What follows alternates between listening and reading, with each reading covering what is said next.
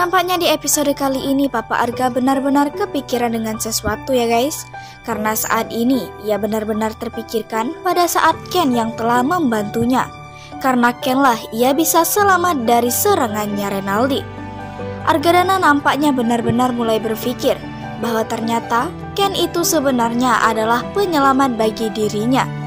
Karena di episode kali ini pun Selain ia sendiri yang menyadarinya, Oma Risma dan juga Tante Emily pun juga mengatakan kepada Papa Arga bahwa memang Ken itu adalah laki-laki yang benar-benar baik dan ia bisa menyelamatkan Argadana dan juga keluarganya dari mara bahaya.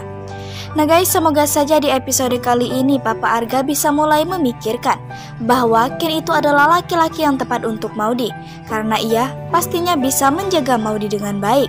Dan semoga saja Kali ini membuat Papa Arga sadar dan akhirnya ia bisa mengizinkan Ken dan Maudi untuk bisa hidup bersama-sama lagi. Kira-kira apa yang akan terjadi di episode selanjutnya? Jangan lupa untuk saksikan terus kelengkapan ceritanya hanya di sinetron Love Story setiap hari di SCTV. Dan Mimin pastinya akan update terus info-info terupdate lainnya di sini. Terima kasih.